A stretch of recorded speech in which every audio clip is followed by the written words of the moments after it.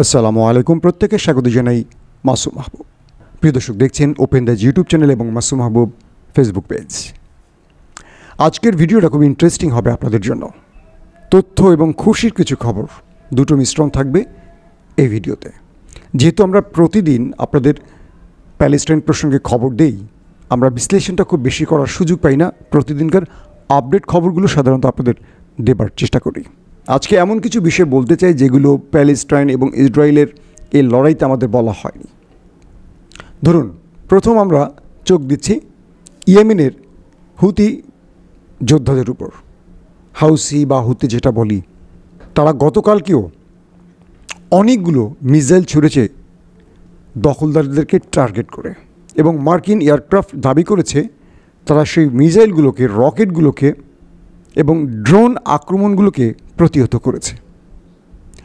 এবং মার্কিন এয়ারক্রাফট যে কটা ড্রোন অ্যাটাক কিংবা মিসাইলকে তারা গিলে ফেলেছে মানে হজম করেছে বা টার্গেট করে সেগুলো ধ্বংস করেছে, তার চেয়ে বহু সংখ্যক অ্যাটাক হুতি বা হাউসি বিদ্রোহীরা করেছে ইয়েমেন থেকে, ইসরায়েলকে টার্গেট করে।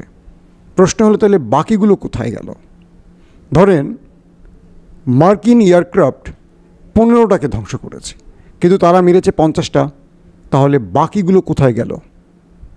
এখন সেই দখলদার রাষ্ট্রের ভেতর থেকে বা তাদের গণমাধ্যমগুলো বলছে যে দখলদারদের বিভিন্ন অঞ্চলে হুটহাট হুটহাট মানে তারা দেখছে আগুন জ্বলে যাচ্ছে মানে রকেট আসছে, পড়ছে, ব্লাস্ট করছে, আগুন ধরে যাচ্ছে।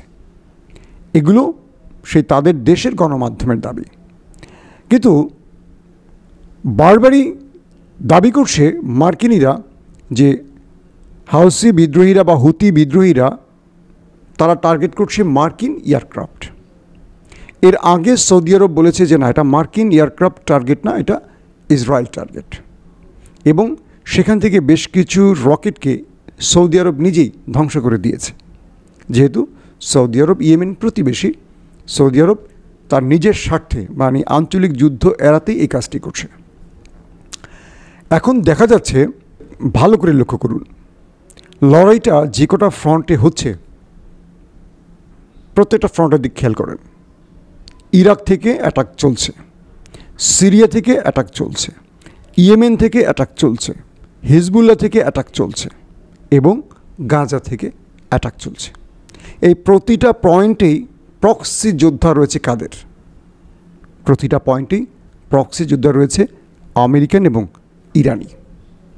এবং যারা এই মুহূর্তে অ্যাটাকগুলো করছে, এরা প্রত্যেকেই ইরানের মদতপুষ্ট।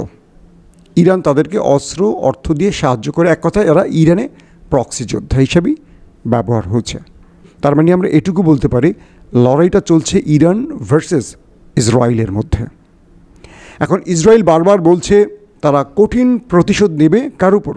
ইরানের উপর। কিন্তু ইরান কিন্তু প্রকাশ্য মাঠে নেমে গেছে। যদিও তারা তাদের সেনাবাহিনীকে ব্যবহার করে লড়াই করছে না, কিন্তু তাদের সেনাবাহিনীর পরিকল্পনাতেই কিন্তু এই গ্রুপগুলো মাঠে কাজ করছে। লেবানন কখন হিটটা করছে খেয়াল করুন। যখন দখলদাররা গাজায় প্রবেশের চেষ্টা করছে বা বৃষ্টির মতো বোমা ফেলছে উপর থেকে, তখনই হিজবুল্লাহ তাদের দৃষ্টিকে ফেরানোর জন্য দখলদারদের বিভিন্ন নতুন নতুন শহরে তেলাভিভ বা আদার্স কোনো শহরে তারা আবার অ্যাটাক বাড়ায়। তো গতকালকে হিজবুল্লার টার্গেট একেবারে এমন জায়গায় পড়েছে যেটা ওরা কল্পনা করতে পারেনি দখলদাররা। কোথায়? দখলদারদের একটা সেনা ঘাটের গুরুত্বপূর্ণ সেনা পোস্টের উপরে গিয়ে হিজবুল্লার রকেট পড়েছে এবং সেখানে আগুন জ্বলে গেছে এবং ব্যাপক ক্ষতি হয়েছে এমনটি দাবি করা হচ্ছে ইসরায়েলের গণমাধ্যমে। এখন যখনই ওরা গাজার স্কুল টার্গেট করছে, অসহায় মানুষকে টার্গেট করছে দখলদাররা। তখন হিজবুল্লাহ তারা একটি অঞ্চলকে টার্গেট করছে না, তারা বিভিন্ন পয়েন্টে এই অ্যাটাকগুলো করছে। আবার অন্যদিকে সেম টাইমে ইয়েমেন থেকে ছড়া হচ্ছে রকেট এগুলো কাদের? ইরানি। এগুলোর রেঞ্জ কিন্তু বেশি। ধরেন হামাসের হাতে যে রকেটগুলো এগুলো খুব লং ডিস্টেন্সের না। অর্থাৎ হামাস থেকে মারলে সীমান্ত এরিয়া অথবা আমরা ধরে নিলাম দখলদারদের রাজধানী তেলাবিবে পড়ছে। কিন্তু ইয়েমেনের হাতে যেগুলো রয়েছে, কারণ ইয়েমেন তো দীর্ঘদিন সৌদি আরবের সাথে লড়াই করছে এবং সৌদি আরবকে বিজয় অর্জন করতে দেয়নি, তার মানে ইয়েমেনের সঙ্গে ইরানের যোগাযোগটা খুব সহজ পথ আছে। এবং ইয়েমেনের যোদ্ধাদের হাতে ইরান খুব সহজেই তাদের সব রকম অস্ত্র পৌঁছে দিয়েছে।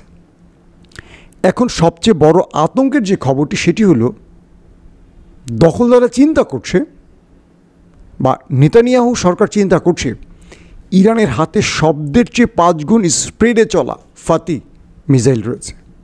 এটি যদি কোনো না কোনোভাবে ইয়েমেনের হুতি বিদ্রোহীদের হাতে পৌঁছে যায়, তাহলে ব্যাপক সমস্যা হবে। কারণ ইরান দাবি করছে, এই মিসাইলটি শব্দের চেয়ে পাঁচ গুণ স্পিডে চলে। সুপারসনিক বলেন, হাইপারসনিক বলেন এরকম অনেক মিসাইল ইরানের কাছে আছে, হাইপারসনিকও আছে, সুপারসনিকও আছে। তো এগুলো ইরান যদি তার প্রক্সি যোদ্ধাদের কাছে দিয়ে দখলদারদেরকে টার্গেট করে, সেই ক্ষেত্রে তারা নিজের ভূমিকা রক্ষা করবে কীভাবে? কারণ দীর্ঘদিন তারা নিরীহ প্যালেস্টাইনিদের মারত, তারা পাথর দিয়ে প্রতিবাদ করত। কিন্তু এবার হচ্ছে খেলাটা ভিন্ন রকম। এবার কি? এবার দীর্ঘ কয়েক দশক পর স্বয়ং দখলদারদের প্রাণকেন্দ্রের মধ্যেই কিন্তু রকেট হামলা চলছে। আপনারা জানেন, পুরো ইসরায়েলের মধ্যে কিছুক্ষণ পরপর সাইরেন বেজে ওঠে। মানুষ দৌড়ে, যারা অফিস আদালতে আছে, দৌড়ে গিয়ে বেসমেন্টে ঢোকে, গাড়ির নিচে আশ্রয় নেয়, যে যার মতো আশ্রয় নেয়। এই দেশটিতে যতগুলো নেতা সফর করেছেন, প্রত্যেকে সাইরেনের ভয় পালিয়েছেন, দৌড়িয়ে যে যার মতো নিয়ে ড্রেনের মধ্যে, বেসমেন্টের মধ্যে গিয়ে পালিয়েছেন।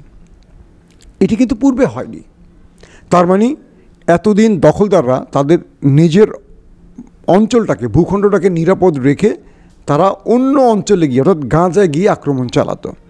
আর এবার হামাস, হিজবুল্লাহ বা বাকি সংগঠনগুলো বা বাকি প্রতিরোধ সংগঠনগুলো তারা সীমান্তে আর লড়ছে না, তারা টার্গেট করছে তাদের অঞ্চলে। অর্থাৎ বুঝিয়ে দিচ্ছে, তুমি আমার নাগরিকদের ঘুম কেড়ে নিয়েছো, তোমার নাগরিকদেরকে আমরা ঘুমাতে দেব না। আমরা হয়তো আপনাদেরকে খবর দিচ্ছি যে বিমান দিয়ে আক্রমণ করছে, প্রচুর মানুষ মারা যাচ্ছে। কারণ এই দৃশ্যগুলো দেখানোর সুযোগ আছে। গাজাতে সাংবাদিক মারা গেছে, প্রায় পনেরো জনের উপর মারাই গেছে সাংবাদিক। তারপরও সংবাদ কভারেজ হচ্ছে, কিন্তু দখলদারা তাদের ব্যর্থতা বা তাদের পরাজয় এগুলো দেখাতে চাচ্ছে না পৃথিবীর কাছে। কারণ তাদের ক্ষমতাটা কমে যাবে।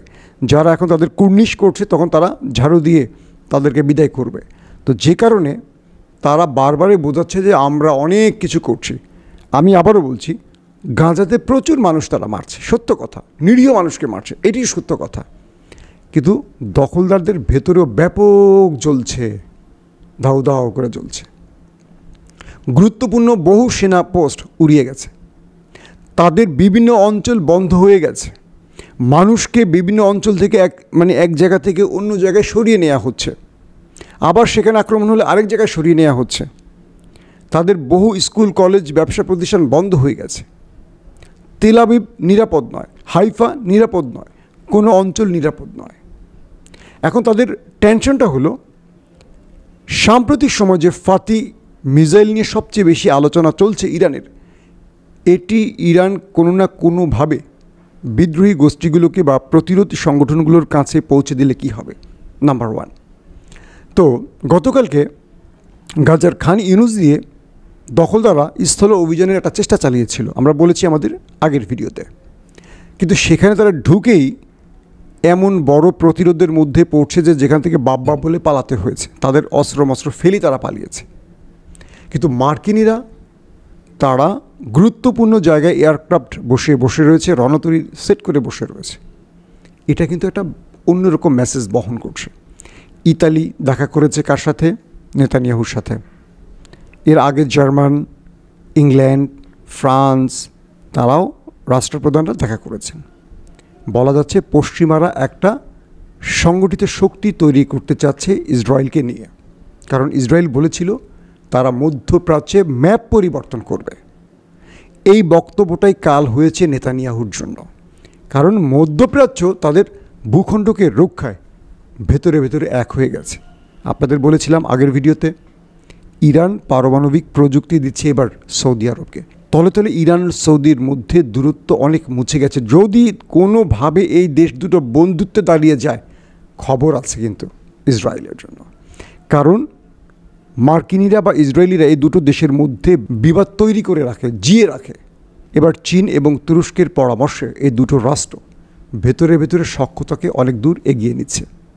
এখন বিষয় হলো, লেবানন বলেন, গাজা বলেন, ইরাক বলেন, সিরিয়া বলেন এবং ইয়েমেন বলেন। এই প্রতিটা প্রতিবেশী রাষ্ট্র থেকে যেভাবে দখলদারদের ভূমিকে টার্গেট করা হচ্ছে, কোনোভাবে নেতানিয়াহু বা তার বাহিনী এখন বড় মাপের যুদ্ধে যাবে?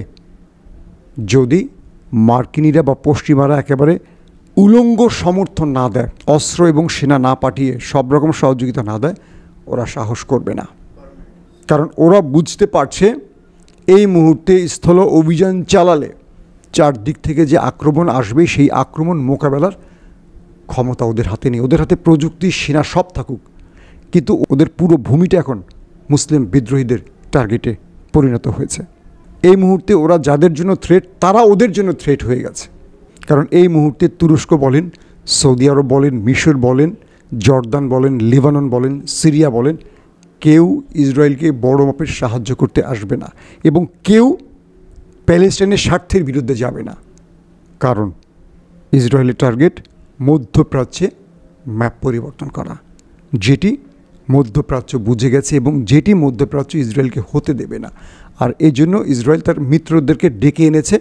তবে ইন্টারেস্টিং ব্যাপার, এই যুদ্ধে যদি পশ্চিমারা মার্কিনিরা জড়িয়ে যায় ইসরায়েলের পক্ষে ধরে নেবেন রাশিয়া, চীন প্রবেশ করবে। ইতিমধ্যে সেই ইঙ্গিত স্পষ্ট হচ্ছে। প্রত্যেকে ভালো থাকবেন। আল্লাহ হাফেজ।